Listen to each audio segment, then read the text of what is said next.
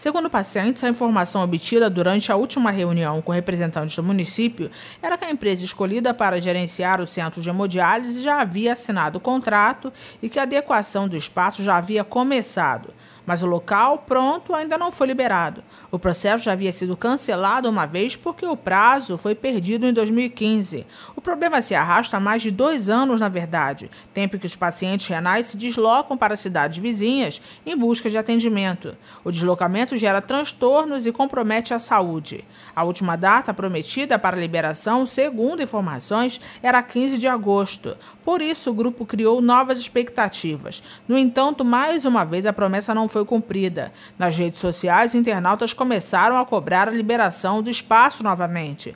Os mais prejudicados com a demora são os pacientes.